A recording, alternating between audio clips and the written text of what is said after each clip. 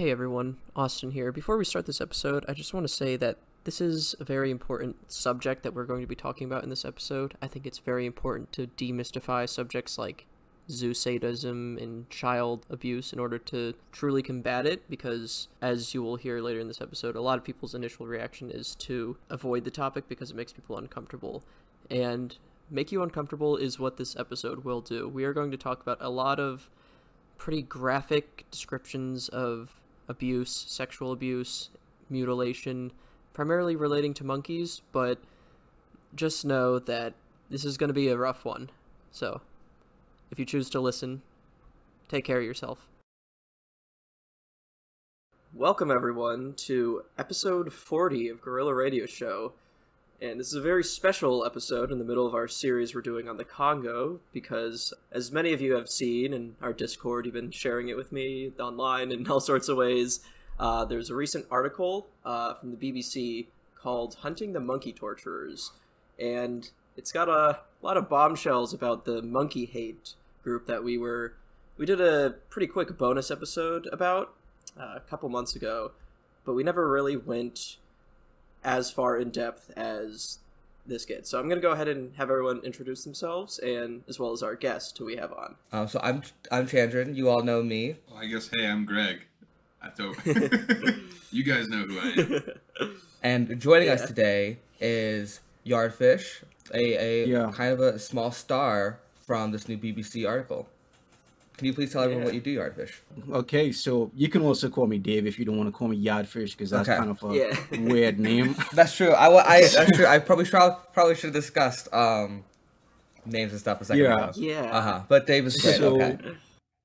Yeah. So I I've been working for the last two and a half years on investigating zoo sadistic communities that exist on the internet, and um, that doesn't simply it's not simply limited to just monkeys, uh, dogs, cats, rats, rodents, all sorts of stuff that people just do really, really strange things to. Yes. So yeah. yeah, um, but the thing that we kind of like been working the most on over the last two years is specifically the monkey hate stuff, which started on YouTube.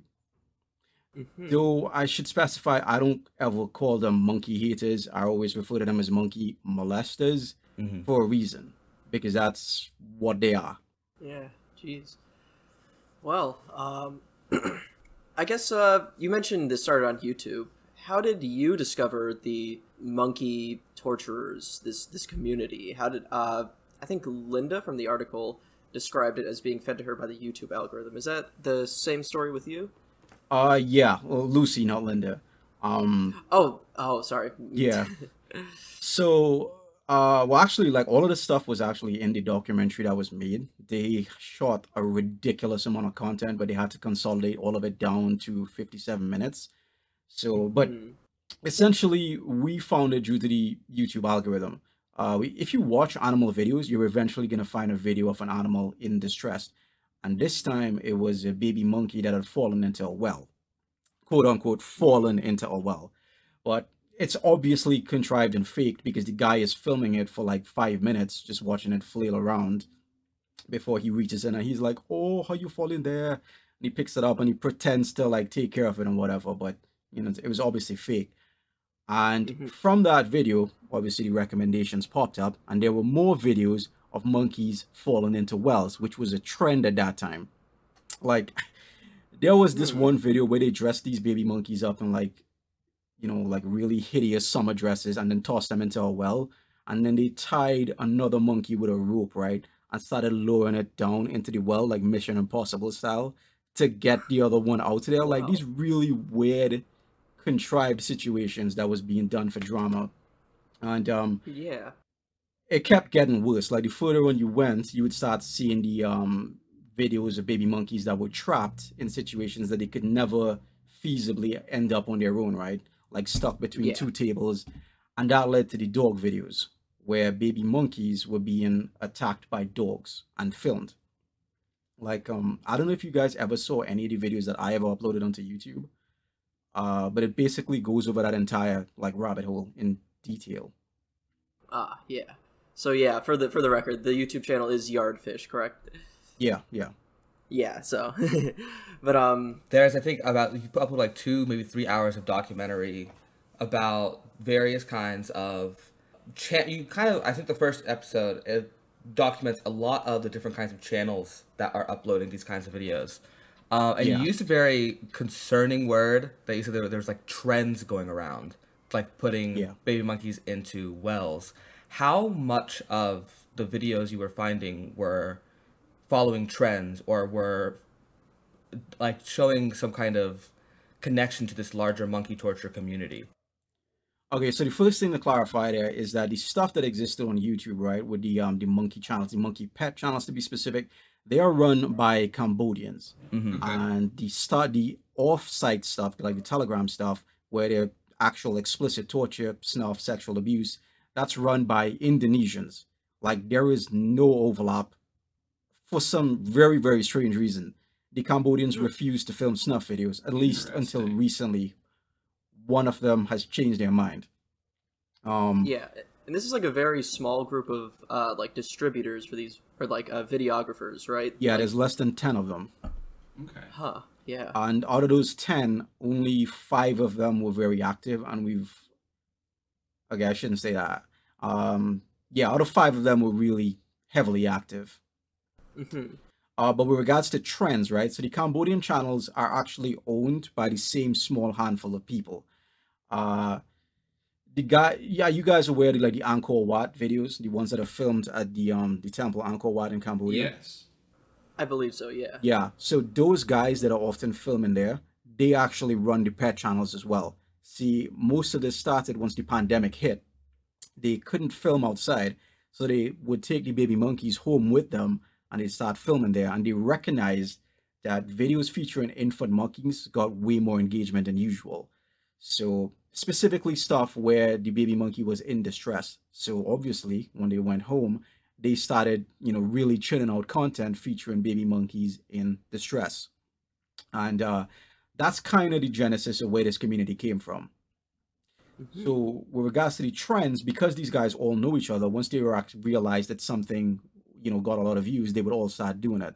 So, when I got into it, it was wells. Then it switched to dogs then it switched to uh, fake vet visits, which is still pretty common. Okay. And then, so how does so most of the torture and most of like the, the molestation is happening in Indonesia.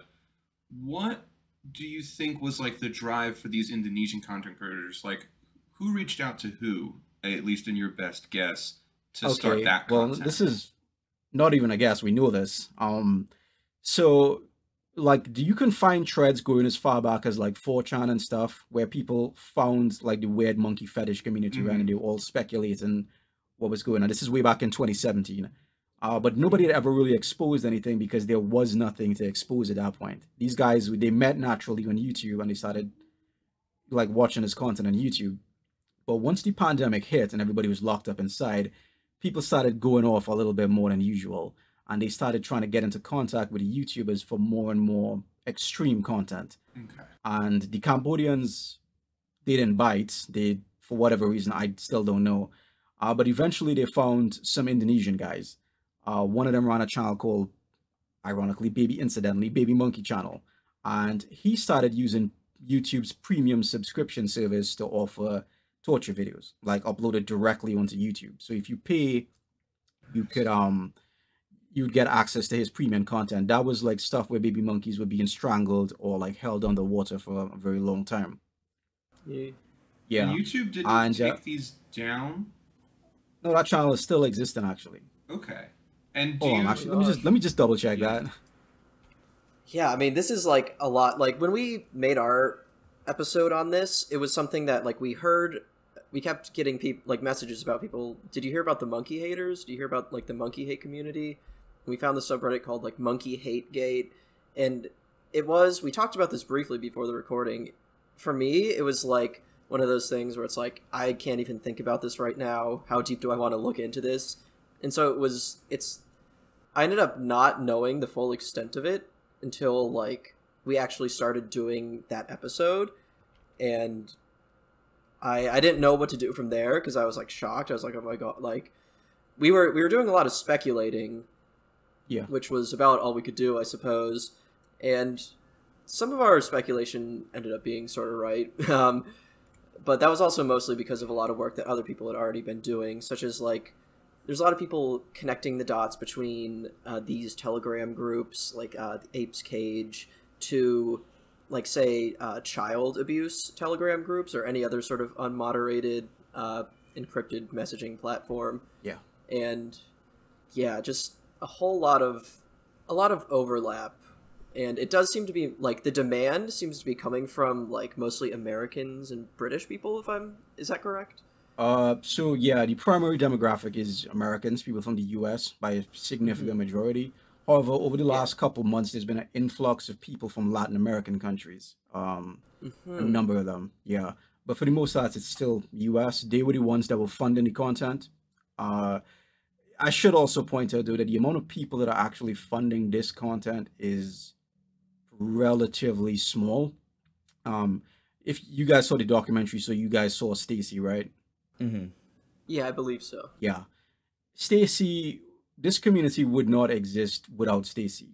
If you ever saw a video of a baby monkey being tortured, um, especially if it was being sodomized and then it was killed, uh, it was Stacy's doing. She was responsible for around more than 50% of the content that was produced. Like at the height of her career, quote unquote career, she and Asep, her Indonesian VO, they were killing one baby monkey a week. Oh my god. Jeez. Okay. Yeah, this went on for a period of months. That's why I believe, yeah. we we got into this to find Stacy. Uh, that was Hmm. our whole goal. And um, yeah, she is. I, I don't think I can even tell you the kind of stuff that she did because it's it's you, you're definitely gonna get demonetized most likely. yeah. Well, I mean, You technically, can- most of our if money you comes if you would like to independent tell us you can, and we can absolutely cut it if we think it would be too graphic. or we can put a little warning before it. Mhm. but Yeah, no, we, we are totally independently, like uh, publicly funded, so we don't have Okay. any any like. We don't concerns rely on about that, YouTube no. money usually. Yeah. Okay, so well, most of the people in this community are sexual sadists, right? Uh, Mhm. you probably heard the psychology mention that. Mm-hmm. Yeah, I think that. I think that's something that doesn't show up in the BBC's coverage very much, but Yeah, you talk a lot more in your videos. The the they couldn't really mention it, so they had to use like the psychologist and the homeland security guy to get the point across. yeah Uh, but yeah, they are sexual sadists. They're motivated primarily by their desire to see something that's very helpless, uh, something that's perceived as innocent, be degraded, humiliated, uh, broken down, and um, it's pretty bad with most where most of them are concerned. But Stacy took it to an entirely new level. She was obsessed with the idea of sodomizing infant monkeys, uh, to the point of just hilarity. Like her YouTube channel, I included like a clip of it in one of my videos. I can't remember which one. Was entirely like baby monkey genitals. Like that was a lot of uploads and clips spliced in specifically with that. And um the people in this community would very frequently request videos of baby monkeys being sodomized. It was one of the most popular things to be requested, but the VOs thought it was disgusting. So the guys filming themselves were like, no, that's too much. We're not going to do that. And Stacy's VO was the exception. And she actually bragged about it, talking about how, what she had to do to get this guy to actually, you know, do this kind of stuff. Tell, telling everybody who would listen this was going to be unlike anything they'd ever seen before. And then she started producing those types of videos. And she kept doing it all the way up until her guy was caught. Like the last video that they ever made together, this guy heats up like a six inch nail and uses it to sodomize a, a newborn monkey until it goes into shock and dies. Good lord. Yeah. Yeah. Holy that's fucking really shit. heavy stuff. Yeah, we'll we'll put Yeah, a we'll little, put a little warning in before for that. Um, Yeah. But, um, I had I had a follow up question about something you said before, where you said that there's new demand coming from Latin America. Yeah. Do you does that seem like it's something that's being like it's a like a closed loop, like it's ha- like creators are in Latin America taking New World monkeys, uh, baby monkeys there, and and doing this to them, or are they or is this still being outsourced to Indonesia? Okay, so the majority of the content is still from Indonesia, but we've shut down most of the videos. There was one guy from Malaysia who we also managed to. That's an ongoing case. We still we managed to stop him at the very least from creating new videos, but he, so he was raided. The police found his stuff. It went. The police were disgusted by it. By the way, just horrified. Uh, however, once forensics were finished with his stuff, the DA requested that the case be dropped personally, and that is just incredibly baffling to everybody involved. Like it is a crime in Indonesia to do what he did, and uh, we're still working on him. But yeah, there are no producers from Latin America as of right now. There is one producer from West Africa. That's it. Huh. Yeah, I will say, like, one of the, like, part of this is, like, obviously there's a monetary incentive. I'm assuming the US dollar goes a lot further in Indonesia It than does, it does here. And, you know, they, generally speaking, uh, the people involved in this, at least when they pool their money together, have a lot of money to give. And so that's, like, a big incentive. But even still, it seems like something that you couldn't pay most people any amount of money to do and so it does it does seem like maybe a good like most of the the small few people who are filming this content are probably have something going on already that would make them inclined to be willing to do this kind of stuff or like what's your take on it i guess Um, you're talking specifically about the VOs who filmed the stuff, right? Not the people. Yeah, like- do you think like just the monetary amount was so persuasive or for the VOs to film this stuff or do you think was, they just had some because I know like one of the guys was already a monkey pet trafficker which Yeah. would already expose him to like So yeah, expose him to some that guy was Asep. That was Stacy's VO, and he was the guy who filmed along with Stacy like fifty percent of the snuff videos, uh, probably Uh-huh. more. Uh, there's been in the like over the course of the last two years, there's been more than a thousand videos produced, like from the entire Jesus. community. So, uh, he was motivated primarily by monetary reasons, and so there are still parts of this that I can't talk about. Like he Mhm. did not work alone. Um, but yeah, uh, it's possible that what he only got a fraction of the cut from the actual money that actually got sent over. Um, as for the other guys though, like okay, bro, is just like he was a pathetic little shit. That was just like he was he was the most pitiful of the entire VO group. Uh, you saw him Is he the one that said he felt bad for Minnie after doing that stuff? Yeah, don't feel the- sorry for him though. He raped Minnie with a toothbrush, so Yeah. uh, um, I, I won't Yeah, feel no. sorry for him. No, absolutely not. Yeah, what was surprising is that he has a wife and kid, and apparently his wife was in on it as well. So there is Jeez. part of that. Um, that's kind of an uncommon trend with these videos in Indonesia. Their family is usually aware of what they're doing. Like there's a guy that we're looking at right now, and he masquerades as an animal activist um, in Indonesia. Hmm. You know, and when he's making videos, you can hear his siblings like walking around and talking to him while he's like dismembering a baby monkey while it's still alive. So Jeez. animal welfare in Indonesia is pretty like it's pretty terrible. It's one of the worst countries in the world when it comes to that kind of stuff. And these people were never gonna get caught had the BBC not used their influence to actually get the police to do something. That's that's a fact. Like it was not gonna happen otherwise. Asep, despite the kind of stuff that Asep did, the only reason he got caught is because he was involved in smuggling exotic animals, endangered animals. That's where the majority of his sentence came from. Yeah, I did see that. Yeah. Hmm. Um, but Jeez. most of them did it for money, I would say. But there was one guy, the Malaysian guy, he did it for fun. Like he actually started as part of this community, and he would capture he would capture monkeys on his own, but he could only capture juveniles and adults because it's really hard to capture a baby monkey without assistance. And Yeah. um, he would after work he would go check his trap, and then he would like beat these monkeys to death. And uh, he started filming it and uploading it to these Telegram groups, but nobody cared because it wasn't like baby monkeys, which is the only thing that they were interested in. And Mhm. once the other viewers were out of the way, he started switching to baby monkeys. Like he would have to buy. Sorry, that was a lizard in my room. All right. All right. yeah, so he would like he would buy these videos. He would import the monkeys from Indonesia, essentially, send them over, and uh he would they would crowdfund these videos, and then he would start torturing them. He was like, he was completely unhinged. He did this entirely for himself first and foremost, and for money secondly. So he's an exception to the rule primarily, I would say. hmm Um, Yeah, I was gonna say like the one uh, you just mentioned. He only got the eight month sentence because he wasn't trafficking animals, I believe. yeah, Uh, and he lived near a forest that had like a native population of these uh, macaques. I, I don't remember what species. Long- it is. the They're long-tailed long-tailed macaques. macaques. Yeah, Yeah. yeah, yeah.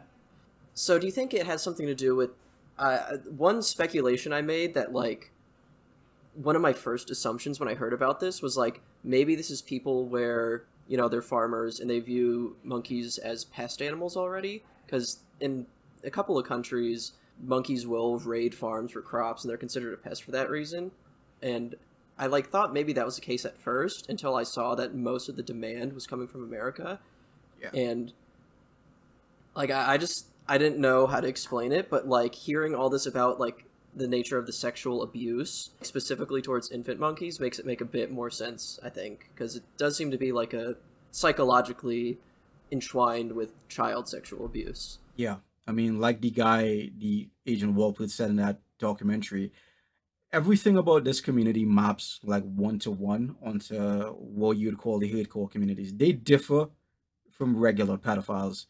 Um, so there are multiple classifications of like sexual offenders when it comes to child predators, right? And Mhm. most people kind of like lump them all in together, but there is a noticeable difference.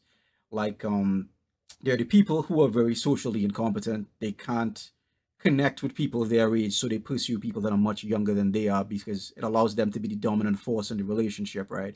Uh, like those Mhm. streamers that often get caught grooming their fans and stuff like that. They fall into that Yeah. category. And then there are the people who are desensitized by pornography. They watch a lot of pornography and they get they want to get more and more extreme. So they eventually end up in like child pornography, pornography and stuff like that. Uh, they do it because they're bored, I guess, and they need titillation from something that's very taboo. But at the very bottom of the list, there's the sadistic sexual offender. And that's where these guys kind of fall into. They are people that are aroused primarily by humiliation, by degradation. They want to see things that are helpless, things that can't defend themselves, uh, be psychologically broken and like torn down. So a lot of the torture is designed to psychologically break the animal. So they would do things like they would uh, they stroke the animals when they start before they start torturing, like almost like foreplay. Uh, they want to get the animal acclimated, start trusting them a little bit, and then they start abusing them. They have like this fetish for that violation of trust. Uh, their Holy Grail video, this was going for like eight hundred dollars when it was um first dropped. Torture a baby monkey in front of its mother. That is their probably their most common fetish. They want to see an infant monkey tortured in front of its mother, and then they want to have the baby killed in front of the mother, or vice versa. And uh, yeah, that video went for eight hundred dollars, and it was a fake. Like it wasn't even real. It was just an older macaque with a younger macaque. you described these three types of personalities and i you had almost certainly a lot more experience with these kinds of predators now that you've been involved with in such a huge investigation so Yeah. i one of the things that really stood out to us when we were first reading these interviews with people like the torture king and mr ape was this kind of this facade of like sorrow and regret and this like i don't know how i lost control i you know was in a bad place and i slipped into this and it just do you do you think there's any cr- real credence to the kind of cover that they are giving for themselves or the kind of explanation they're giving or do you believe it's a cover for maybe much more deeply disturbed psychological problems Well, first things first, that's not unique to them specifically. It's uh, pretty much all types of zoo sadist fall into that category, like the guys who abuse dogs and cats. They also, and when I say abuse, I don't mean like they just hit their cat. I mean like the really extreme violence. Like there are guys who, mm-hmm. rape okay, sodomy. say, I, yeah, yeah. Uh-huh. And it's not just that; it's like extremely aberrant. Like a lot of these people, they're like they oscillate between these really high highs where they're you know really getting a lot of pleasure from watching these videos, and then they have their their moment of clarity post uh, explosion, Mhm. where they kind of just they feel guilty, they feel really bad about it, they feel sick with themselves, and some of them actually do try to stop. Some of them turn informant, and some of them self terminate in some cases. There was a guy who was he wasn't involved in the monkey stuff, but he was involved in like other forms of zoo sadism. Mm-hmm. Who um he killed himself once he realized that he had been uncovered. Uh, hmm but the thing is, it's really hard for them to stop. Like they, we would see these guys often, like begging to be let back into new Telegram groups on Facebook, on YouTube, trying to get into contact with people who are like you know higher up in the community, just acting like addicts, and that's probably the most consistent like trend that we've noticed amongst consumers of this content they have addictive personalities. In fact, a lot of them were addicted to either meth, heroin, or opiates. It like it comes up so much that it's impossible to ignore. Uh, yeah. Another thing is like a lot of them also appear to like suffer from obsessive compulsive disorder. Like those two things combined. Mm-hmm. As for whether or not they actually feel guilty, I think yes, a part of the, some of them do, Mm-hmm. hmm but they can't Yeah. stop themselves. So yeah, that actually that brings me to like sort of two observations we made during our initial episode that we had where we sort of pointed out that this is sort of like porn addiction in a way it feels like Yeah, I watched. know I watched your episode it. by the way. I I, I oh, watched Oh, it okay. yesterday. Oh God, you know how Yeah. unhinged we are. Okay. No, I Yeah. thought it was, it was. I thought it was cool. I mean, if I thought you guys were like batshit crazy, or something I wasn't coming on here. I was gonna, be, yeah, you know. yeah okay but yeah so yeah we definitely noticed that like maybe before we knew the full extent of it that there is like a sort of connection between like porn addiction and like that need to like constantly ramp up the psychological like shock factor Yeah. that is uh sort of fortified by an algorithmic content Yeah, because the rate at which these people escalated was insane. Because most of these Yeah. people, right, that were in these groups, they were watching videos of baby monkeys getting teased with bottles. They were watching videos of like a baby monkey getting slapped maybe now and then or held down underwater. And Yeah. then from that, they went to baby monkeys getting nailed to trees and having needles stuck into their genitals. So it was like, it was a huge jump. And yeah but the, the thing about it that we also learned is most a lot of these people that are into this kind of stuff they like to constantly talk about the fact that they're normal people who you know they just have a thing for macaques and that is complete bullshit uh, from Mhm. what we Yeah. found a lot of these people were involved in very questionable shit before they even got involved with the macaques a lot of them were like gore aficionados for example in some cases they would pay for premium memberships to gore sites um Mhm. a lot of them you can find like their their profiles and their criminal records online drug possession uh prostitution uh assault throwing their shit at people yeah one of them literally Jeez. has that in his criminal That's what I was gonna. the That's actually. irony. that's actually what I wanted to ask you. Where when you when I don't know how many of these people you actually had, like you could see their priors, but were any of them convicted sex offenders, or were like was an abnormally large amount of them convicted sex offenders before this? um most of the time their convictions were for drugs Okay. hmm editor's note after the interview dave actually did double check turns out most of them did have sexual offenses uh but the other thing is like the people who were most i guess to say the people who were demanding the sexual stuff the most were often women which is Interesting. uh Yeah. Yeah. we did note that that a lot of the profile pictures seem to be like women, or at least I, I think the subreddit pointed out that a lot of the people involved were women. Oh yeah, those aren't that's soccer little- burner accounts, by the way. Those are actually them. Ah, yeah, that doesn't. Not that seems like it's not smart. Maybe. Um, Yeah, that's one thing that was cut out of the documentary that I thought kind of sucked. The thing that eclipses these people's sadism the most is their stupidity. Mm. Yeah. They are Yeah. the dumbest group of criminals on planet Earth. Nothing else comes close.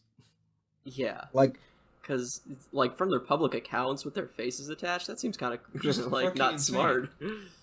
yeah. it's not just that, but they they tie their financial accounts to the purchase of like Animal Crush videos. And Yeah, not even like cryptocurrency or anything. some of them did try to use crypto, but a lot of them can't figure out how to make it work, so they just use Cash App or what's or enough. like PayPal instead.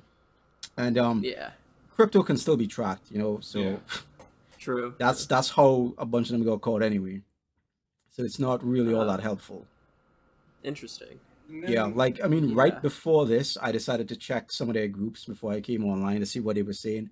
these dipshits, right? Despite the fact that they basically just were told that they are being hunted by the U.S. Department of Homeland Security, and Mm-hmm. not just just not just that, the guys that are hunting them are the guys that specialize in tracking child predators. That's their Yeah. job. That's what they do. A normal human being would understand the implications of that, right? And just like piss off and go somewhere else. These dumb shits went back to the exact same groups that they were just told had been compromised and continued on as usual. You know, they were like, ho ho, the Karens think that uh, the FBI and Scotland Yard and Interpol and uh, the Homeland Security are watching us, but tee hee hee, that's never gonna happen. You know, And Until it happens. I- I just had to, I hate to make this my like head a, hurts. like a political thing, but I gotta ask: Yeah. Is there a big MAGA contingent in this? Is it like a noticeable thing? Is there not? There- it's okay there if was- there's not. I'm just There- so interested. There to was know. the Nazi guy. It it Yeah, seems like, like Torture King. Um, like is this a, are they like right, there very did seem- right wing leaning? I mean, so that was I was actually kind of under the impression that that might have been the case. I'm not American, by the way. I don't give a shit yeah. about you guys' Yeah. politics, but um, I was under that impression as well because it seemed like that at first. But it's more of an issue like those types of people. They tell you what they are. That's true. They have an American flag everywhere. so they stick out the most, but it's actually politically like it's it's not real an issue. Like there are a lot of people who are who are like actually like gay rights activists and stuff like that. mhm. So it's a pretty surprising mix because you have a group where you have a guy who's like extremely like, you know, my rifle, my life, you ain't Yeah. taking my gun from me, that kind of shit. And then they're interacting very pleasantly with somebody that you would think that they would hate, right? Like people here, uh, rainbow masks, all that kind of stuff. And it was kind of surreal. So to it see. seems so it's it's very like I guess diverse this group of people.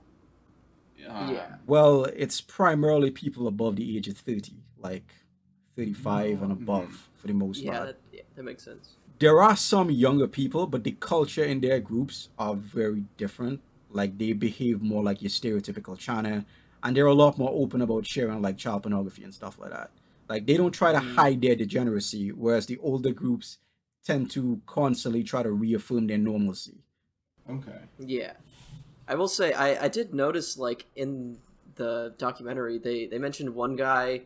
Like first of all, they were all like way too open about their personal lives. I guess probably to reinforce that normalcy that you're talking about. No, But, they're like, just there's stupid. One Uh, well, yeah, true. Yeah, fair enough. But yeah, there's like one guy. He was retired military. I think there's another guy talking about nuclear stuff. So like, what do you think it's it has anything to? I guess it's not always to do with wealth because I can't imagine Stacy was like the wealthiest person in that group. No, So Stacy's broke. Yeah. Stacy, and Yeah, she was the one responsible for funding a lot of this content. Um, the guy who was ex-military, he's probably ex-military now. Sure. After yeah, this gets yeah. out, yeah. yeah, Um, I would not say wealth has much of a factor to do with it at all because most of these guys aren't rich. They're mostly like middle Mhm. income and lower, from what we can find.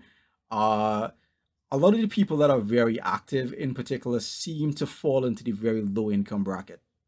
Uh, really yeah. interesting.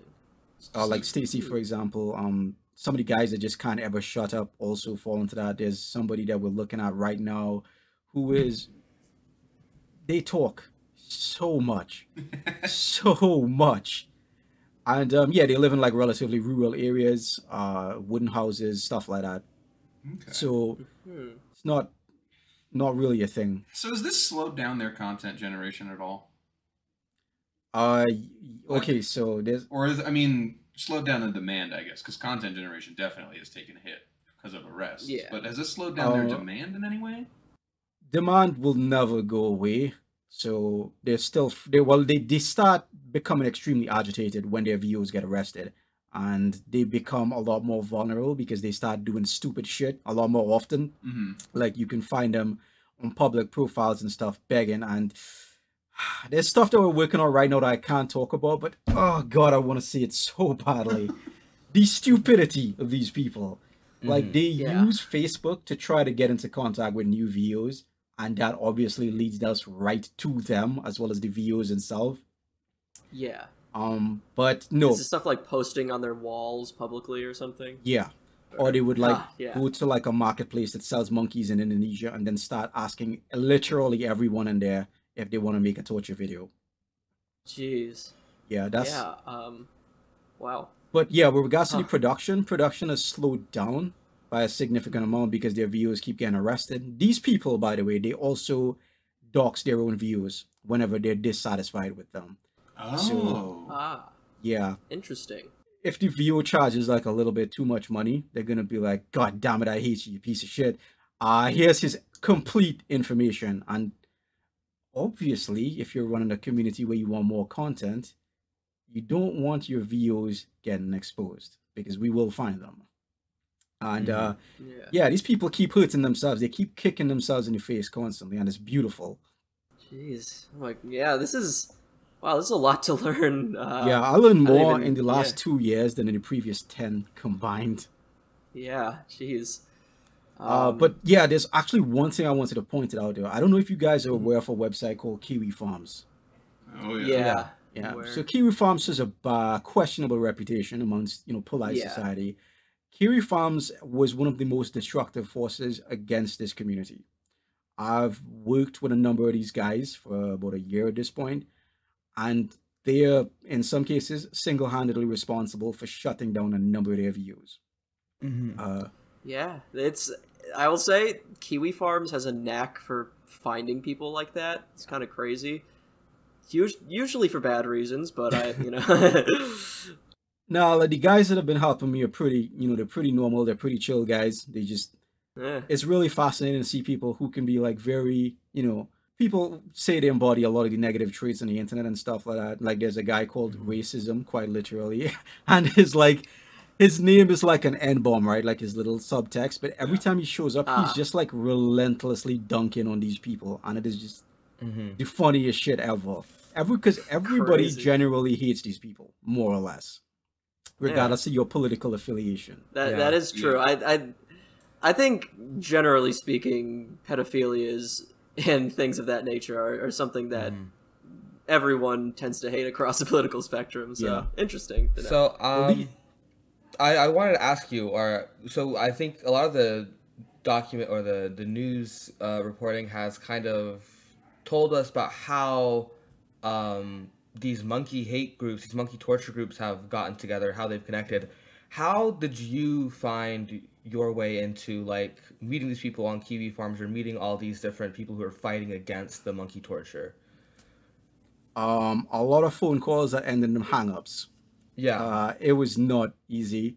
I spent mo- well, first of all, before I even made my first video, I spent months trying to get in contact with like YouTubers and stuff because I'm not a YouTuber, right? You, if you saw like my early videos, they were dumb. They were just talking about movies.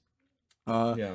but nobody got back to me. So after months of trying that, I just did it myself. I got a video editor and tried to figure out how to use it and made videos. And then from then on, I started calling people like primatology associations.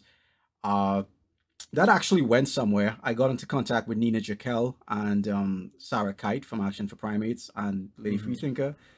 They were a big help. I met Lucy. She ran a channel that YouTube has since terminated for cyberbullying and harassment because yeah, I she explained that to me in an email. That's that strange, but yeah. yeah. and it's basically through all of these people we just started building a network of contacts um i found Mhm. kiwi farms because they were the only guys that were chronicling and documenting zoo sadist activity on the internet and Yeah. yeah. i got i started talking to some of those guys and that's how we started like really working against the monkey groupers and stuff uh, for clarification, Kiwi Farms did not get involved until everything that you saw in that documentary had already been done and dusted. Like they got Okay. involved Mhm. last year, hmm like Yeah. late last year. Gotcha. So, yeah, but they've been like a big, a huge help since then, Mhm. and probably the major reason as to why the community got crippled so badly. wow. Wow. Uh, so how often did your did these investigations kind of intersect with other animal torture trafficking rings, like things outside of just macaques and non-human primates? Uh, a couple of times, but I can't talk about those cases because they're still ongoing. Um, Okay. there's a really big case in Australia right now, but Australian law, you can't crimes of that nature, you can't really talk about it until the guy Mhm. has been convicted. It's considered prejudicial otherwise. But um, huh. those were two really big zoo sadistic cases that were like basically happening at the exact same time.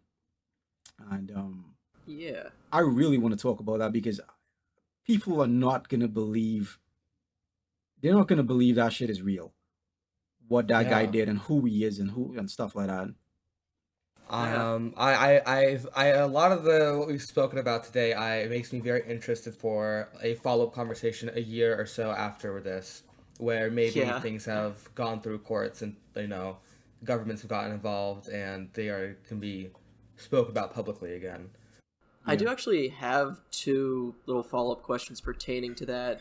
Uh, one, how I like how much legal trouble would are you in if you were one of the people in the groups watching the videos and like paying to watch the videos, but not like coordinating it? Because it seems like there weren't a whole lot of American arrests, but I don't know if that's true or not. Sorry, American what? Uh, it seems like there weren't a lot of arrests of like like Like Americans. American like it seemed like how many? Yeah. Like, were they getting charged with something? Um so yeah, I can't talk about that, That's okay. but Ah, a number of people were arrested again over the following last weekend. And um if you paid money for it, yeah, you're getting dicked over. Like that is a crime. Mhm. Even if you ah, didn't okay, pay money for good it, you're still getting dicked over because distribution is also a crime. And Ah. thankfully, the monkey molesters don't know that. So that's great. That's good. yeah. So you would see them in their groups constantly saying, like, guys, guys, guys, we're only in trouble if we like pay for it, right? But there's so much of it for free. It's like, yeah, you keep telling yourself that, dipshit. See how well that goes Yeah. on for you. And the fucking book thrown at him. Yeah. yeah um but if you Um, just like watch the video i guess like i don't know if you guys know but like technically watching child pornography isn't a crime watching zoo sadism sadistic content isn't a crime it's downloading um selling it distributing it sharing links for it that that stuff will get you in trouble Interesting.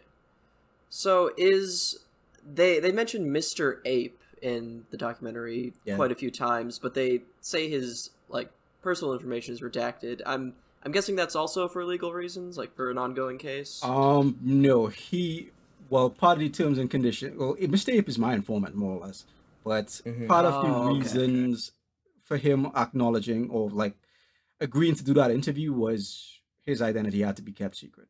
That's why TK and Stacy their faces were shown. They oh. they were like fine. Well, Stacy didn't say fine, but she didn't complain about it either. Huh. Yeah. Yeah. So Huh. that's. I mean, what do you guys think? What do you guys think of Mr. Ape? Um, I initial impressions were that it seemed like most of the people who turned tail to become informants maybe were like into it for a while and maybe realized that the tide was turning against them and sort of tried to join the winning side. But I also don't necessarily know the psychology of these people. Yeah. Mhm. Um, I would say that was definitely the case with TK. Like that was Yeah. probably his biggest motivating factor because he had already been involved with uh, criminal stuff. He already had dealings with like law enforcement, you know, coming for him and stuff like that. So I think he he knew that. You saw He was being watched. going. Yeah. yeah. So we can't ask you our follow-up question, which was, "Who's Mr. Ape?" no, yeah. Uh, Yeah, I'm not gonna. That's like, I'm not gonna rat out Yeah, an don't, informant. don't rat out on your informant. No, absolutely. yeah not. it's it's fair i mean i mean if you're getting like actual cases thrown at people because Yeah, of the those- informant then like yeah, this, more power uh, but yeah wow this is This shit's heavy, A man. I hope of- you're talking. I hope you Yeah. get to talk to somebody about this. yeah Uh, i mean has yeah have, has this taken a toll on you just like because i know like facebook moderators who have to moderate like child abuse content do take really hard hits to their psyche sometimes How, how's that been for you i guess Uh, you're probably gonna think my answer is kind of weird, but my opinion of people actually went up following this stuff because uh, hmm. I I'm not really a big people person, so I kind of had a really cynical outlook on people in general, but once I got into this kind of stuff and I started meeting people who were working against it, and I saw like the BBC guys, for example, I always thought journalists kind of sucked, but like they were doing like they were the reason this investigation got started to begin with, right? Because Nina and Sarah, like they approached like American media outlets to do this kind of stuff, and they they got nothing. But two of the journalists for the BBC, uh, they were in the documentary. Rebecca, who's the narrator, and Ajeng, who interviewed OK Bro, they worked in Indonesia, and they really pushed for like an investigation into this once the Lady Freethinker expose that came out like a year ago. Uh, I mean, two years ago, I think it was. Once that dropped, they started pushing for the investigation and they got the resources to really go all in. And I got to see them work, and they were really like, this was something that their work is something that's important to them. And that was pretty refreshing. And um, yeah, my opinion of people was like elevated as a result of it. As sad as it might sound, right? Because I met like Lucy, I met uh, people who were in psychology, criminology, the Kiwi Farms guys uh people who like really really hated this shit and just wanted to stomp these people into the dirt. Yeah, yeah. um so i guess um another quick question. So you said not as much overlap with other zoo sadist communities as you might think. Um do you think the fact that baby monkeys and monkeys in general look so close to humans like sort of in an unca- an uncanny valley sort of way sometimes that this is why like do you think people viewed it as like the next best thing oh yeah no like that's not i don't really think that's a theory i think that's pretty much a fact because in their dms oh, they okay. just flat out admitted it like mm-hmm. so we don't really? we can't release okay. their chat logs obviously but yeah uh, so there the groups are structured in different ways there are public groups if you can believe that with like 2000 members honeypots more or less and yeah. these people just they maintain a facade during those groups to a certain extent. They will say things like, oh my god, all these people calling us pedophiles, they're the real pedophiles. Like that is their number one rebuttal to being accused of being a pedophile. And it's usually like a really unhinged rant. Uh, I can actually send you a screen cap of like one I just took because I was on one of the groups again and I saw it. It's like their most common uh, talking point when it comes to trying to rebuke that accusation. But mm. once they get into the private groups, which are much smaller, like 20 or 30 people and stuff like that, they're a lot more open about this kind of stuff. And that same person who was just saying that you need to think about kids instead of stupid tree rats, yeah, they're outright explicitly stating that they got into this because of how much they like watching kids get hurt. Like they just flat out said it. Um, yeah. You probably heard the Homeland Security guy mention the type of content that they yeah. watch is identical to child pornography stuff. That's not that's not exaggeration. Like most of their videos are modeled after very extreme forms of child pornography called hardcore. So like the animals, like their limbs are bound in a manner to like really exaggerate their humanistic qualities. Like spread eagled, usually most of the time. There's an excessive focus on genital trauma. So they love baby monkey dicks. I don't really know how else to put it. Like every single yeah. transaction log that we saw included some sort of genital manipulation of some sort. Um, the the sodomy thing, like I mentioned before, the uh, like they would pay OK Bro to jerk off a male monkey that he had called Judd, and like drop candle wax. You saw part of that video in the in the documentary actually. Like when he's mm-hmm. tying mm-hmm. a baby monkey to the top of the thing, yeah. Like they, what they wanted him to do was to first jerk the baby monkey off and then start dripping candle wax on its junk. Jesus. Yeah, so they like outwardly deny that in public groups, but in their private groups, they're a lot more open about it. They just flat out state that yeah, because baby monkeys they don't react to pain and fear and trauma the way a puppy does. A baby mm-hmm. monkey is gonna curl up and start sucking its thumb. Puppies don't do that. You know, they have their faces allow them to articulate expressions, not exactly in the way a human being could, but you can see their fear. You can see when a monkey has been psychologically broken. And they just absolutely get off on that. Like the things that they say is exactly the kind of shit that you will see on child abuse channels on YouTube, like um mm-hmm. like DaddyOFive and stuff like that. They constantly fixate on the idea of disciplining these animals. Yeah, yeah. I think that's something we may have talked about. It I we recorded so long ago I don't remember exactly, but the idea that like people were using the monkeys as stand-ins for children because they like to abuse children. I, I think we said that. Uh, I don't remember when we said that, but yeah, no, that. Well, I, Jeez. part of it is like I I also think some of these people don't actually know or understand what they are though. Like they see this content and it like awakens something in them, like something really primal in some cases, and they they, they don't understand it. They want to see more though, and they keep watching that kind of stuff. It's like the guy with the cats getting hot cut off or whatever. Um, the difference between them and normal people though is like even if you get some sort of dopamine rush from seeing this, you're still aware that this is this is not exactly good and you try to cut yourself off from it but these people keep going and they keep trying to rationalize their behavior which is where they get caught up um like you guys ever heard of stuff like the techniques of neutralization god damn lizard I have like two of them living under my bed Mm, and they do that shit constantly but i like them because they eat bugs so um exactly. yeah. Um, Yeah, so, like- the techniques of neutralization. Yeah, it's like a psychological theory. Uh, it's Mhm. pretty old actually. Two psychologists, Sykes and Matza, came up with this idea where they were looking at like delinquents who were like cutting class and stuff, and then looking at the theories, like how they rationalized it, and they realized that a lot of it applied to just people in general when they're violating social norms. So some of the things that people will use would be like um uh they deny personal responsibility. Like they'll say that they're a victim of circumstance they can't really help it or they will use techniques such as condemning the condemner which is like ac- accusing people of being a pedophile or telling them that if you can't talk about this unless you're a vegan right? Because that means you support animal abuse. You can't condemn me.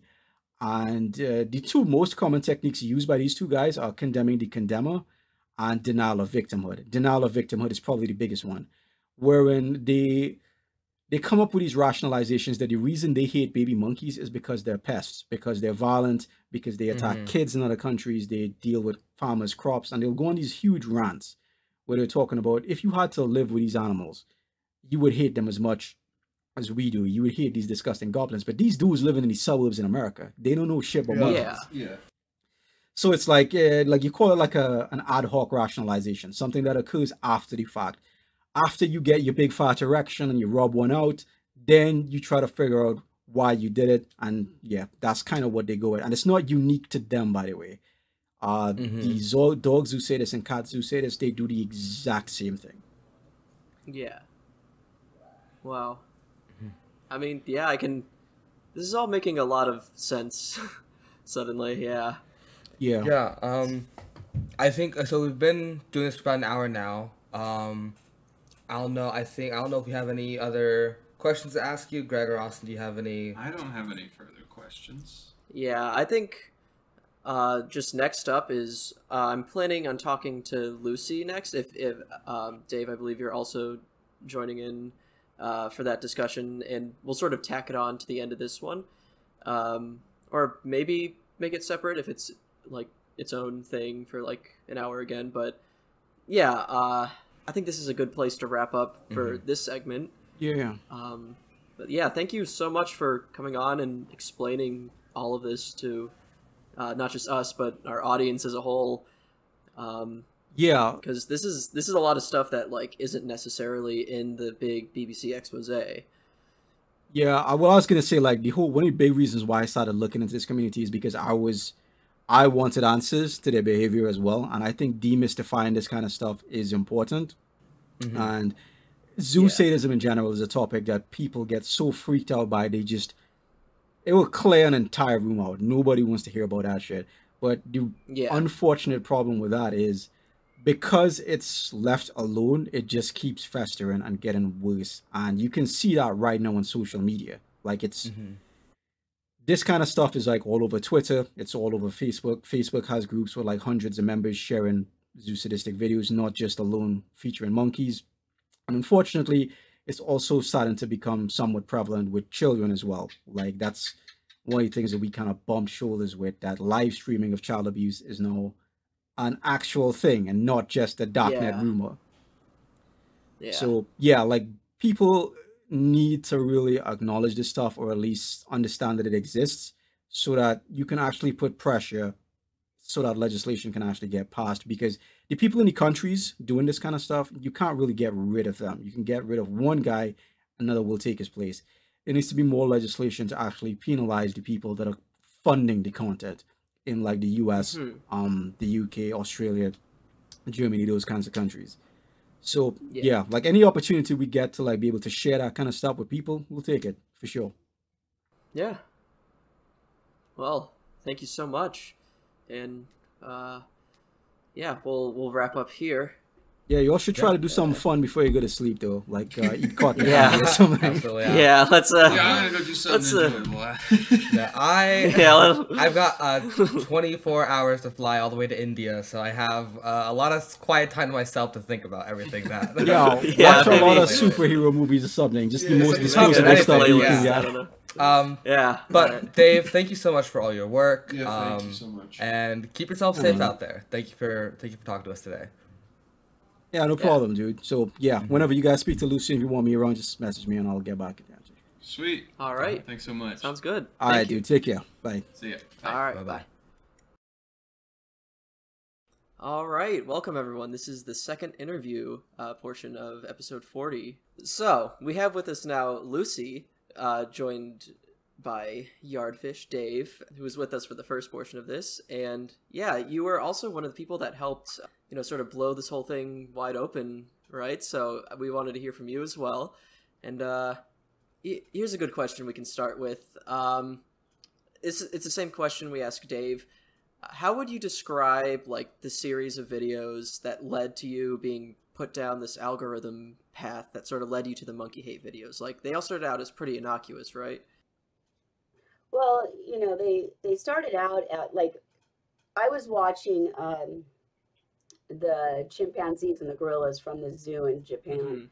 And it was just from watching that, then all of a sudden, you know, I was seeing um, pet monkey channels Mhm. in my feed. And at first I wasn't, you know, clicking on them, but I kept seeing one in particular that was like an exposed, it was on blast. They were exposing the, what is it, Mona Donna, yeah, Sakura's monkey. So I watched that one and that was like an eye opener. But then, you know, just from watching that one, that like my feed was just filled with pet monkeys. Yeah. like, you know, it didn't take long for that, you know, to happen. So yeah so would you say it's like definitely like sort of a pipeline from like these videos of pet monkeys like looking cute in clothes and in people's houses to yes, yeah okay yeah, for sure. for It's sure. definitely more than just a pipeline though, because the guys who first started filming the videos were literal YouTubers. yeah that is true Right. you, you did mention that Yes, they true, went from yeah. like Yeah, like Yeah. OK Bro was a YouTuber. Uh, what's his name? Uh, Mas Bichette was a YouTuber. Uh, I'm not sure Asep was a YouTuber, but um, I think the guy that put them in contact with him was a hmm, YouTuber. yeah yeah, I believe it. Yes. Yeah, and so uh, would you say it's all like mostly like obviously the common factor here is that all these videos are being filmed usually in countries where there is like a native population of primates, but would you say it also has something to do with like the local uh, animal cruelty laws? Because I, I've seen like a a similar pet monkey channel where it doesn't seem to be like overly cruel at first glance but still very weird. And like i checked the linkedin of the guy and it was based out of like vietnam. Like i don't know how like what how would you describe the link between like animal welfare laws and the content that these videos start to create over time? I mean, I would say that I mean, yeah, is a big motivating factor because they know they're not really gonna get heavy criminal charges, but a lot of people would kind of say things like, um, you know, the monkeys are pests in these countries Yeah. and stuff, right? Uh, dude, like the most common pest, the animal that they consider to be pests the most are like dogs because dogs are everywhere.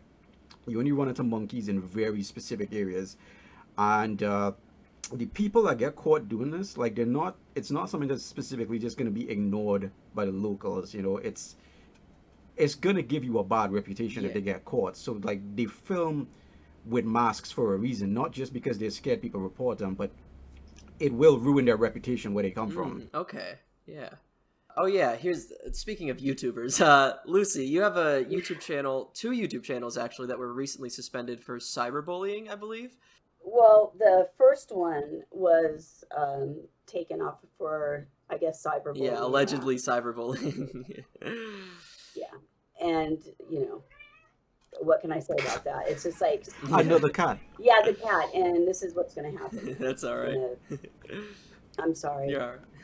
So she stops. Anyway. Oh no, he uh, had like a cat that was just like all over last time, just doing cat things. yeah this is like she's just needy so but anyway um y- the cyberbullying was you know those monkey haters they just once a video of mine you know was released uploaded then because they were subscribed to my channel Mhm. um, they would all get to one would say okay there's another video and they would do like a mass report Uh-huh.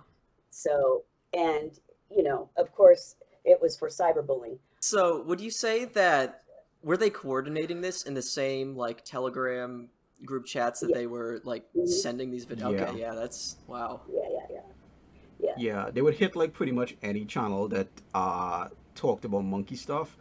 And it wasn't just them though, it was like YouTube would also uh deal well no, I wouldn't say specifically delist, but you'd get hit if you made a video about monkey stuff. Uh like uh, there was a, a bigger YouTuber who made a video about the monkey hate stuff a couple months ago, and it was doing really well. Took off, and then after a couple hours, you just see the views just spike downwards after the video got blacklisted.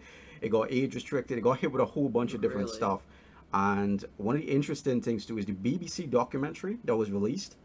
That was age restricted before it even aired. Like they once they uploaded it before it actually premiered, it got age restricted for clarification, the YouTube hasn't had a BBC documentary age restricted in a long Really? time. Like two weeks prior to that, they released a video, uh, a similar investigation into these dudes that were molesting schoolgirls on a on a train in Japan, and they would sell the videos on social Right, media. yeah. Dark stuff, right? No age restriction. Human trafficking, uh, selling kids, uh, really horrific sexual abuse stuff. No age restriction. But the video that implicates YouTube and this kind of stuff gets age restricted. Really? Just something to consider. right Yeah. Mhm. exactly And uh yeah, I guess that leads me into my one of my other questions is what measures do you two think that YouTube should be taking to prevent content like this from being generated or do you think do you think there's any degree of like complicity in this or is it just uh mismanagement or incompetence? I I would probably say more they don't want to spend money Yeah. more okay. than anything else. More than malice per se. Well actually well, let me put it like this, right? YouTube uh Lucy's last channel got terminated uh for basically uh ban evading, right? Because they banned her previous account. But the only way they would have seen her account was if they paused the documentary. Because it was they, they had a sequence where her new account was on screen for one second. That was the only time it was mentioned. So they would have had to have paused that video, taken note of her channel, because a weird ass channel name, yeah and then manually strike it. That happened hours after the documentary came out. She got uh, banned. crazy, yeah. So do you? Yeah, like I'm just like obviously this is just speculating, but it's like worrying to think about. Like, obviously, like the algorithm is partly to blame here, and to fix that would be a lot of effort. That's and it's a lot easier to just like sort of suppress uh, blame coming at them. I would assume. So, uh, I'm, I assume it's Yeah. also just due to like it's a lot harder to manually moderate stuff, but then again, in this case, it does sound like they did do that manually, so very, very strange. Well, I know that there was another, there was a video um, that I can't remember the name of it, but they used a thumbnail from the video that shows like what I did was I replaced the face of a guy and I put it like a killer clown Mhm. face on him, and it was that part of the video was it was making a point about you know um, yeah get a YouTube channel and a monkey and then you can make money type thing you know Yeah. so i use that evil the evil clown head you know as you know like kind of a representative. It's kind of evil to you know do that. So but they took that. I think this is what they did is they they're the ones that used that thumbnail. They you know or however that happened. And they saw that and they automatically assumed that i was doing some uh, scam you know Mm, uh, because it was actually um, I got this off of Google. It was like these some guy um, talking about YouTube and you can make money and blah blah blah.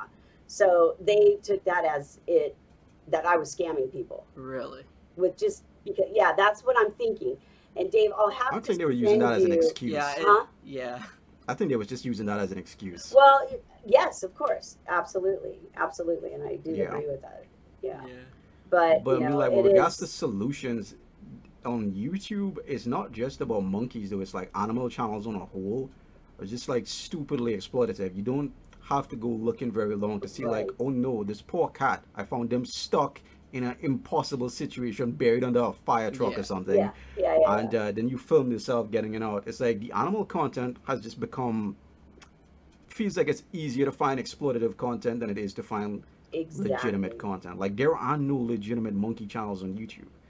They're all owned by people that are exploiting them. Like Lady Freethinker, she did a piece where like people, uh, one of her people went to these uh these monkey channels, to the actual homes and stuff, and these animals off camera are shoved into cages. Right. Like what you see is a set. Yeah. Like that's an actual set, and they're only fed when the cameras are rolling, and then Right. they're put back into these cages, and then they're dumped once they hit like six to seven months. Yeah.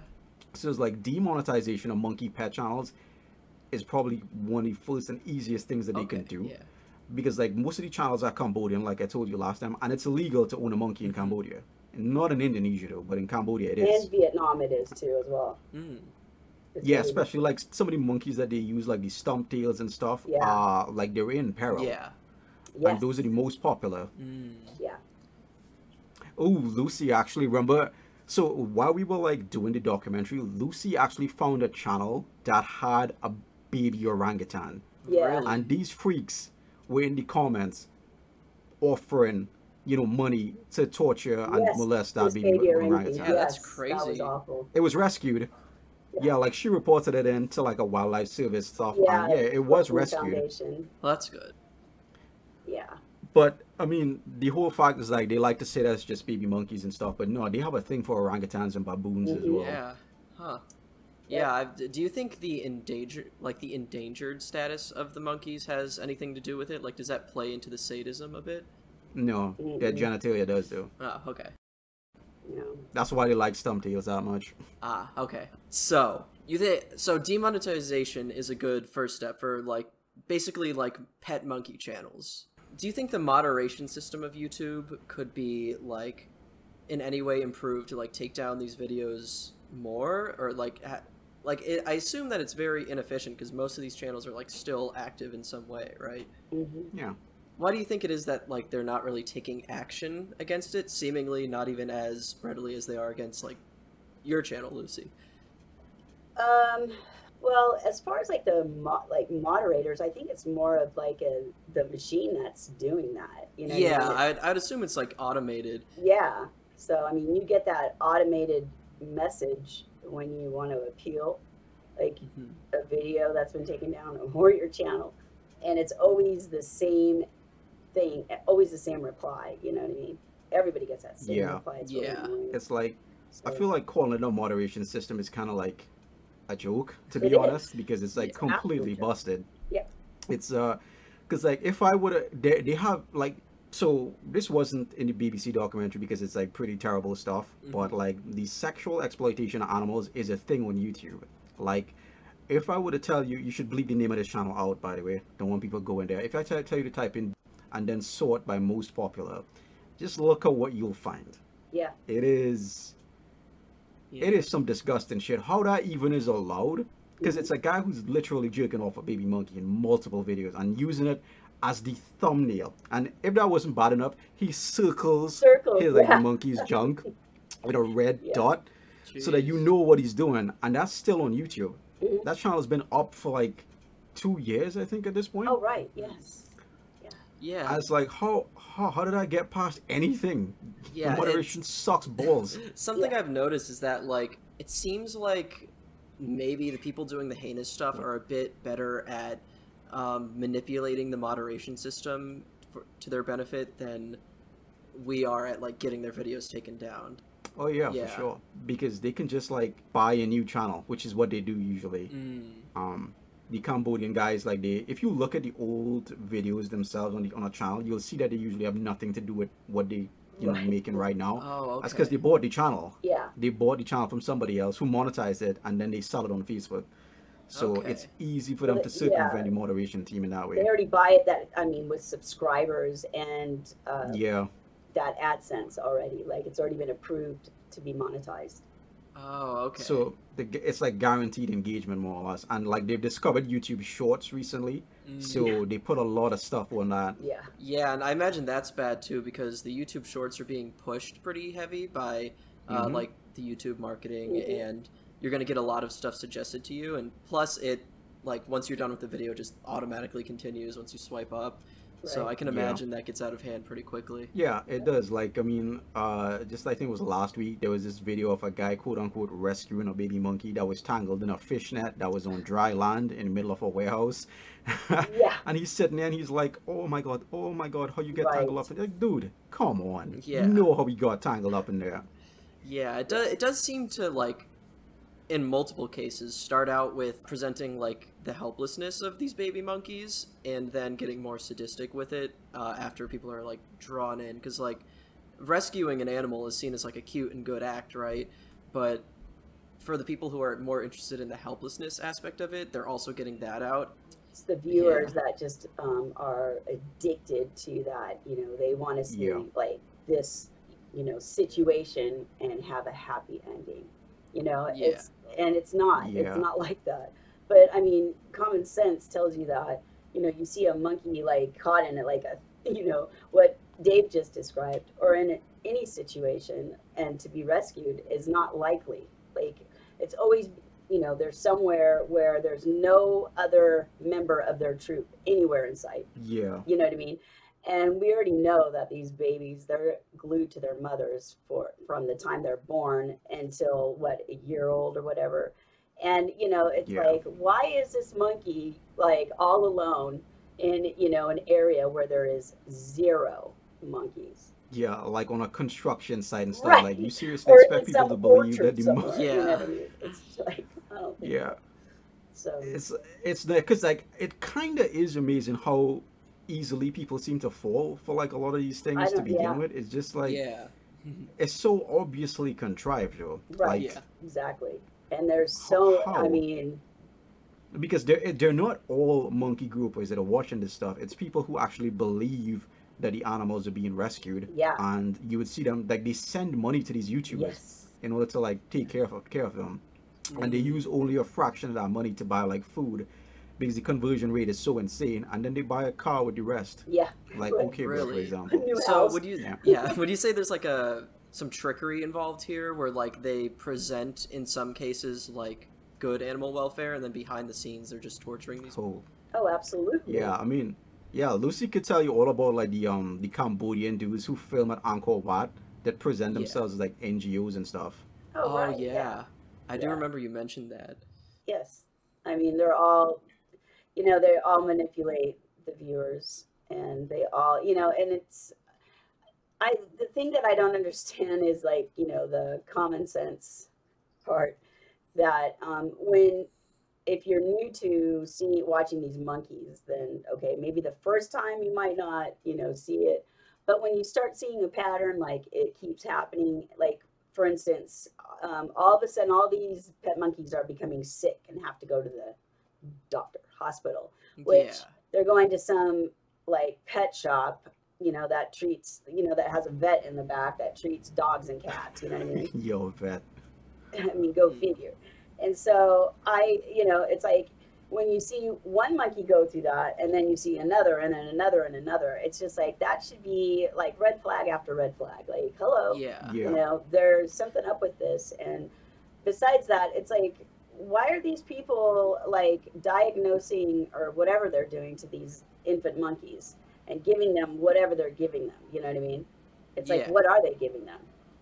yeah like videos of in baby monkeys getting injections and stuff are really popular Yeah. and so are videos of kids getting injections. Like if you just type in kids getting injections or kids being hurt on YouTube, you're gonna find unless they took them down recently, you're gonna find entire compilations Oh, of that, that kind of stuff. hardcore, the those hardcore Yeah. videos. Yeah. Yeah. Yeah, I think there's probably some that are still up. I think. I mean, Yeah, I didn't check recently because I don't really want to end up on a list or anything. Yeah. So, yeah. right. Yeah, Dave, you did mention the link between that thing and like actual like exploitation of children Mhm. in our last talk. But um yeah, I guess so you would say that or I guess would you say that like the majority or at least a decent amount of these monkey torture content uh, creators are trying to play both sides of the coin here where they maybe publicly present you know Oh, yeah, for seemingly sure. innocent things and then Mhm. they use that to draw people into the darker stuff that is like more Right. okay Yeah, because, like, I was going to say, so, like, Lucy's been, like, documenting this one woman who has, like, 25 channels or something like that. Yeah, or more. Uh, yeah. oh my gosh Yeah. And she basically like rotates through monkeys and stuff. And I'm not even sure if I could say she tries to present herself as a nice person. I guess she kind of does, hmm but like she's trying to play like a wide audience. Like she she constantly does like scat videos. Would you be? uh, Yes. Eesh. yeah. Yeah. I And mean, um, total exploitation of their genitals. I mean, in a very obscene way. And yeah. that would yeah, like and it's scat, on YouTube. scat. Like she uses it as thumbnails and stuff like that. Yes. and um but she's also trying to cater to the people who want to see like a baby get pampered as well which is what she does on camera in some of her videos and then the people who like to see them get hurt it's like they they know they have to juggle demographics if they want to make the biggest impact possible because Mhm. some of these channels have like 750,000 right and um the video I'm specifically working on right now, which I didn't get chance to do because some shit always keeps coming up, right. is specifically on a guy who by day he runs like five channels on YouTube, right? And by day he presents himself as the most loving, kindest guy imaginable. I, if I saw his videos, I would be convinced that he's legit. You know, he he really really takes seems to take really good care of these baby monkeys. They're not afraid of him. But once they get to around five months old, he tortures them and kills them on camera and then sells the videos on Telegram wow and replaces them with two new monkeys of the exact same name. that's crazy yeah no i Yep, that's true though. Jeez. So, would you say that, uh, Dave? You mentioned last time that many of these people are not the smartest criminals. would you say that there's a a definite pattern that seems to work very well for like identifying these people like immediately or at least upon closer inspection? Yeah, insult them. Uh, I'm, I'm not joking, by the way. Yeah. Like, I found so many of these people just by insulting them in my videos. Like, just calling them kitty diddler or weirdo, Oh, they pervert. hate that. um, they hate that. They will go off on this unhinged rant in the comments. And that literally led to a bunch of them getting arrested because I, I figured out who they were. And like the BBC actually recorded like ride-alongs on the raids for some of these guys that got arrested, and it sucks that they couldn't air it because like UK Oh, laws know, and stuff like yeah. yeah, like they can't really show their faces and stuff. But it was like because they was talking so much shit in the comments, right? They, they was like. You cannot stop us, yeah, Yeah, the fish. We kill exactly, yeah. million baby pity infinite, and Yeah. you can't save them. It's like okay, but you just open your door and let me walk right in though. Right. So Yeah. thanks. And I'm not joking. Uh, Kiwi Farms, for example, does that constantly. They insult them, and then they become obsessed with them, and then they fish them out. it's uh, It's great. pretty funny to look at. Oh, it is. Really, yeah. So even with the more innocuous, like if they, if you wanted to figure someone out by like their more innocuous side of the videos, like the people who are creating the monkey torture content, like if you just found a vid, a channel that they run where they're being nice to the monkeys, but they have another channel Yeah. where they're like torturing the monkeys. How would you, how do you draw the link between those two channels usually? Like, how do you figure that out? Um, what you usually just monkey molesters are stupid. They don't understand self-preservation, so they will release a video to share it. Because in these communities, the more content you can share, the more clout you have, right? And when they release videos, that allows us to identify who's making the videos. Uh-huh. So that's how we usually do it. It's like most of the people making the the YouTube videos and stuff like that, they're not specifically making snuff content, but they are abusing them. So Ah, okay. yeah. So when it comes to that sense, it's kind of safe to assume that most of them are abusing these monkeys because that's the easiest thing for them to do because these monkeys require like constant attention. Okay, they're like toddlers basically, and most of them you could see that they're clearly undernourished, like they're malnourished and stuff like that. They're much smaller than they would be normally. Hmm. So, is it safe to assume that like most channels you see that post hundreds of videos of like baby monkeys like in unnatural situations like with clothes, like would would you say that that's probably a good indicator that this person is doing something weird?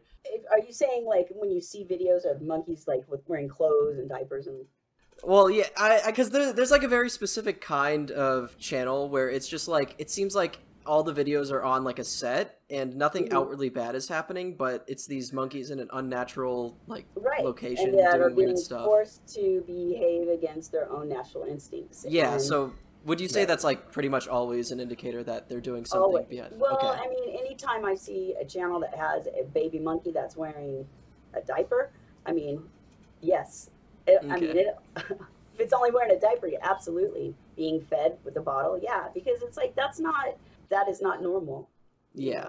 that is not normal. And then besides that, it's just like the number one that they're just exploiting it anyway. So for profit. Yeah, that is true. Yeah. it's all for A really good way to tell too is to look at the previous videos that they made and look to see the older monkeys what happens to them. They right, usually disappear. Exactly. If you Good see point. that, then yeah, They switched out yeah. So um, that's one of the things that they do. That's not to say that the ones that keep them around are any better, because Yeah. there's this one guy who has like a huge YouTube channel, and he has all of the older monkeys still there, but he sexually abuses them. And Jeez. he there was like he uploaded those videos of him doing that Oh, I himself I know. like exactly seven what years that- ago Yeah, that's crazy. on YouTube. Yeah. Yeah, and like he's a massive channel, and a lot of people think that he's actually like one of the few people that is good to these animals. Nah, dog. No, I don't think Like- so. It's just, it's I've weird. had people telling me for like a while that he also like once they're off camera, they uh, they go into a cage immediately. Um, you know, they're they're defanged and stuff like that, and it's uh. If I were to make a video on him, I'd get nuked off of orbit because he has almost a million subs. right, so I exactly. can't. Yes. So we're trying to deal with him legally, but he has political connections in Malaysia, so it's like tricky. yeah. Right, yeah. So they could theoretically just like sic their subscribers on you to like mass report you and get you taken down. Yeah, exactly. Yeah. They have done it before because I got the videos from somebody who re-uploaded them Mm, and onto YouTube. Uh, granted, they probably shouldn't have done it that way because that's definitely violating YouTube guidelines. fair enough. Yeah. But I mean, that's where we got it from, and it's like his face, his voice, his Oh, yeah. hands, his monkey's balls, all of that. yeah. yeah. And the cat. He did the cat too. Oh yeah, the cat too. He also he didn't limit himself to monkeys, by the way. He's an Right. equal opportunity degenerate. Oh, So, disturbing. cats, hell. monkeys, and uh, who knows what else. Yeah. So, um, two more questions, but I'm going to lead with one first because that could inform my second question. Uh, what do you think that our viewers, like ever average everyday people who don't necessarily like spend a lot of time like trying to track these people down, what do you think they can do to help fight against this trend, or not trend, but this uh little cult, I guess you would call it? Hmm. Well, there's, I It's mean, kind of people who realize what's going on. I mean, for one, I guess it would be to stop watching those that is channels. true. Yeah. that would be a you know a start right there because you know it, even just commenting on their channel watching their channel that gives them you know like the views engagement. Yeah. Mm, the comments i mean it, so the thing is is just to don't subscribe to them don't watch them don't even leave comments Well, I would also say too, like just the fact that more people can know about this kind of stuff Mhm. also can increase the pressure being placed on social media yes to up their moderation stuff because this these people have been around since like 2015 Yeah. and they were ignored for so long and they just kept ex- escalating until they got to this point. yeah i didn't even know that it existed in 2015 you know Yeah. Yeah, you know, I was like that's when the earliest videos really started showing up. And uh, yeah, they were completely ignored. People just kind of swept them under the rug, and they were they weren't trying to hide. Like they were right there in the comments, being really brazen. Yeah. and uh, YouTube ignored it for so long, even though like people were sending them the links telling you this guy is openly selling snuff on your platform, right and they didn't do shit. And uh, yeah, it was only until like Nina did that lawsuit with YouTube, like for facilitating distribution of Crush videos. Like Right. I'm not 100% sure the details, but like the judge, they assumed the judge was gonna throw it out immediately, but he didn't. Like he tell he told them to do something about it, like to rephrase it or something, reframe Right. it. And it was after they did that, they went on a mass exodus and they purged a lot of monkey torture channels. And Lucy's channel was also caught in that. Nah. Yeah, she got nuked during that purge. Oh hell yeah! But um, that's to tell you, they knew the channels were there. They knew where all of them were. They got rid of them in like a couple of days. Yeah. And uh, something similar happened with Elsa Gate, right? Because when the Elsa Gate stuff happened, like those channels got nuked as soon as they got like mainstream attention. Hmm. And if you went through the vid, like the internet in the year following that kind of stuff, you wouldn't know that was a thing because they're all gone, like all of them, just wiped out completely. yeah. Uh, so yeah, YouTube knows. It's just they don't really give a shit unless they're pressured. Yeah. That's the problem. So do you, do you think it's because like they're getting ad money from it that it's just like they don't really feel particularly pressured to take them down, maybe? Or Yeah, yeah, but I don't think it's like a ton of ad revenue though Yeah. because it's not like these channels are massive with like 10 million subs. Okay, okay, one has seven million. Well, there's a Oh, few of them that are, which is like some of them are like a little questionable because you know they can buy that. Um, there's a program where it's like an uh, a generator, a view generator, and then yeah, like like a subscribers. service, more like a Yeah. thing. It's yeah, it's a service, another program, so to speak. Right. Yeah. But yeah, I think some of those channels, like the one she's talking about, is like they bought it to hell, like um Animals Home and stuff. Like that has like seven million subs and like millions of views.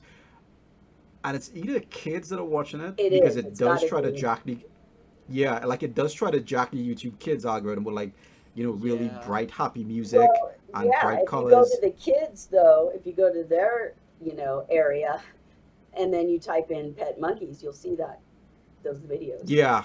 yeah. So like some of them definitely do target that demographic, and Yeah. that's really creepy. that is That's- that is yeah. big right there. That is Yeah, big. and If I- have the kids watching that, then I mean, it's it's also definitely like doubly bad because I mean uh, the same thing with the Elsa Gate. Uh, kids just tend to let videos autoplay and just watch whatever comes on. Yeah. right? And so pretty much anything can get exposure and revenue and engagement that way. Yep. Yeah. The interesting thing too about the Elsa Gate is like the Elsa Gate stuff had like a lot of like weird scat stuff in it with like Yeah. poop and so on. And this community is just filled to the brim with that. Oh, and that absolutely. Animals Home, the channel, it like constantly has t- in its thumbnail a bit uh picture of a monkey sitting on a toilet. Yes. Like, yeah, yeah, yeah. Yeah, see, I did notice Yeah. that. Because, like, what I was thinking of is, like, completely outside of this before this article even dropped and I reached out to you guys. I, like, found this really weird channel that had, like, dozens of videos of this monkey on the toilet, and I was, it was a very unnatural thing, and, like, all the Yeah. thumbnails looked the same, and I was like, does anyone know what the deal with this is? And, yeah, I guess I have my answer now. I did a Yeah. Christmas video with those monkeys, uh, saying, you know, like, oh yeah, your monkey will come, you know, potty trained. You know, there's a monkey sitting on the toilet. You'll get a Yeah. supply of like, toilet paper, and you know, it will do your laundry for you, and you know, because washing. Yeah, it's like they and hold their hands and make them do like weird chores and Yeah, stuff like you that. it's and it's really weird. There's Just the stuff some that makes one them seem like kids, right? Yeah, because they like have like you can hear kids laughing over Yeah, like, videos and stuff like that. That really weird, creepy. It's like a play, like kitchen, you know, with the little miniature food. Yeah. They go to the grocery store and they go in their like electric car, like you know, the remote control car, whatever. I hate that goddamn just- car. It looks so stupid. It is stupid. But it yeah, they usually have the like a lot of little ducks following them around as well. I don't Right. get that. I guess children like ducks. Well, one of my roommates showed me a video, shared a video with me of one of those monkeys that was on the back of a goat. And they're like, Isn't this cute? And I was like, No, this is not cute. And they didn't Yeah. understand what was, you know, they're like, What's wrong with it? But I had Yeah. to tell them this is Like what's that wrong is a it." problem. though. a lot of people see like these cute videos and they're like, ah, that's adorable. I want one of those. Yeah. like, yeah, they probably like um stick out that animal in a cage afterwards though. Yeah. So yeah, I guess you would say just like general awareness and like making people aware of this so that the pressure gets put on them uh, legally and Mm-hmm. financially is definitely probably like the most important thing that like the average person could do, right? Yeah, but not just for the monkey stuff though. Like the animal stuff in general Mm. on YouTube, like it's bad. It's really bad. Like the monkey stuff is at the worst because they kind of use they serve as a proxy for like a lot of different weird fetishes and stuff because Yep. of their very human-like nature. But like that's why they're so popular. But the animal stuff is just pretty bad on YouTube in Mhm. general, and that's really something that they need to be pushed into actually doing something about. yeah. They're not gonna do it just like that. Right. Mm. So a lot of, I mean, they were supposed to do something about like all these like animal rescues, and it's still, you know, it's still a problem. Yeah. Because, I mean, the, the other point to that is if they don't do something about it, then legislators are going to make them do something about it. And that will usually end up crippling, like, it will be really harsh for everybody. And I don't think anybody wants that. We just Right. want you to regulate your platform the way you said it's supposed to be done. Yeah. Yeah. So yeah, initially I was gonna ask if there's any monkey torturers who you feel aren't infamous enough and that you would like want to bring to justice almost, but I feel like that's probably better to like ignore and handle legally, right? Or Yeah. yeah, I mean, if there's somebody that's not famous, we're not going to talk about him. Like, I don't want Yeah. to know who he is. yeah, We're going to talk about him after he's dealt with, not before. Yeah, exactly. Yeah. Yeah. yeah. So I guess as an alternative to that, what would you say is like a are there are there any other happy stories that came out of this? Like any any rescues that you want to talk about, or is it mostly depressing? They rescued the orangutan, that is okay. Yes, they did rescue Um, the Lucy got a orangutan, which cat, was awesome. which was probably going to die. or yeah, she I got didn't an age rescue rest- it. I got that video was age restricted when I posted that video about the orangutan. it was funny. Mm, Oh yeah, of Yeah. course, right? Yeah, of course. Yeah, but the people asking you to asking the guy to molest that they they were just fine. Yeah. Um, exactly. Right. Exactly. But as for happy stories though, Yeah, Yeah, I know it's is- a yeah. tall Not ask really for a subject like this, but you know, yeah, just in case Yeah. there's something. it's just the whole. usually once a YouTuber gets their hands on one of them, they're probably gonna die. Dang. Yeah. Um, if not die, then they get abandoned and like live in ass conditions. Mm, Pro- Then probably die. damn. majority Well. of them, I think, die. Well, so no happy note to end on. Turns Not out really. humanity There's still really no it's- happy, it still sucks you a little bit. But you mentioned last time that this has actually improved your opinion of humanity, Dave, because of all the people that came together to help shut this thing down, like completely of their own free will, uh, on their own From a time. lot of different backgrounds. Yeah. So yeah, I guess that can be our happy note is that at the end of the day, there's more people willing to try to shut this down than there are people Absolutely. who want to keep Yeah. this going. Oh yeah. I mean, most of these dudes, despite their like bravado online and stuff, once they get confronted in real life, they all of the bluster just disappears. Their balls just drop off, and they're like, um, they're not shouting Karen or they're not saying, "No, you're the pedophile, not us," which is like their favorite Right. tactic. Yeah. Right. Yeah. They they don't say any of that shit. They just they just get real quiet and they'll be like, I was I was hacked though. That was my that was my brother's phone or, or dumb shit like that. And then they eventually cave because it always ends one way for them. They know what they are. Right. And I was I was kind of I actually thought that they believed a lot of the shit that they said online. Mhm. But like after seeing how they behaved when they got confronted, it's like, okay, so they don't believe any of it at all. It's just bullshit. Right. They just Yeah. tell themselves that. Exactly. Yeah. Yeah. they know that they're doing something wrong. They know it. hmm Sort of like to catch a predator. Oh, absolutely. Yes. Yeah. Love that show. Uh, yeah. Well, I'm I'm really grateful you guys came on to talk to our audience and share this and Wow, know, I'm- your I'm- cat is really obscene. Is Just she? licking away in the back. Oh my god. Sorry. no, you're all right.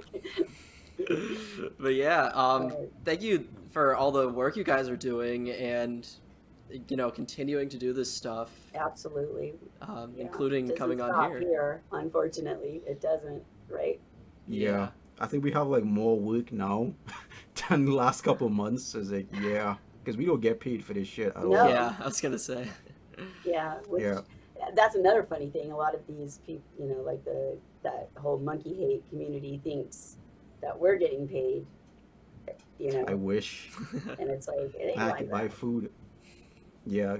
because like my YouTube channel hasn't even managed to like because all my videos get demonetized obviously, and I demonetize them myself in most cases.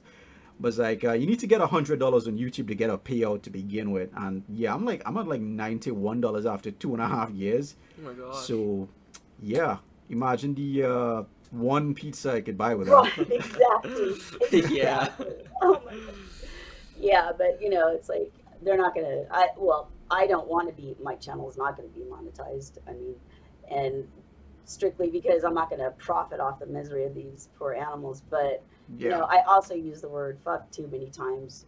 You know, in my videos. So yeah, They Yeah. just. You know, they yeah. fine. Like if people think I insult them a lot, and like, yeah, Yeah. she she takes a dunk on them like constantly as Yeah, well, well. it's easy to do. To I mean, how can you not? Yeah, it's funny. It's funny.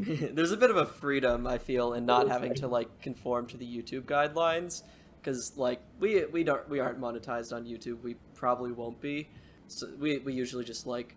Oh, you guys could consider making a Patreon. That's what we do. It's it's just where people like Oh, yeah. voluntarily. Like I I do have a Patreon. Oh, and, Really? uh, I.